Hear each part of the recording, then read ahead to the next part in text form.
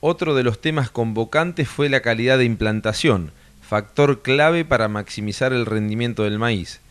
Ese tema lo abordó el ingeniero Cruz Gotti, quien al preguntarle sobre el tema nos decía. Bueno, la charla esta es, la parada de calidad de, calidad de implantación y en realidad hacemos una breve introducción de los parámetros que uno mira en calidad de implantación y nos metemos rápidamente en un ensayo que llevé adelante yo de profundidad de siembra en maíz.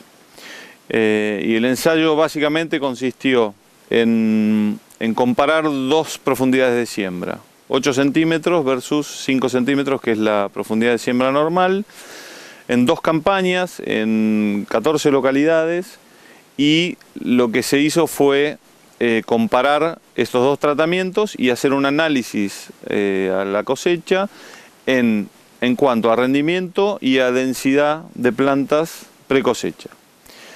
Esos datos se sometieron a un análisis de varianza y en los dos casos dio positivo a favor del rendimiento y en la densidad de plantas a cosecha para el tratamiento de mayor profundidad, de 8 centímetros.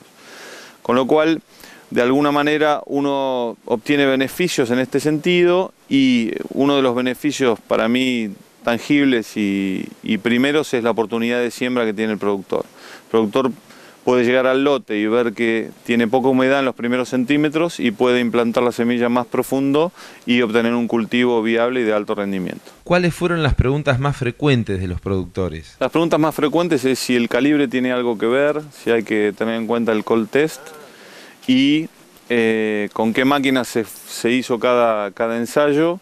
En ese sentido, eh, la idea del ensayo es comparar los dos tratamientos y está hecho con productores y el productor usa su tecnología, su semilla, con lo cual lo único que comparamos es la, diferente profundidad de siembra. ¿Esta tecnología aplicada puede instalarse como una tendencia a futuro? Sí, la idea es aportar una herramienta más en este circuito de, la, regional, como para aportar ideas y, y alguna posible solución en el caso de oportunidad de siembra, como te decía antes.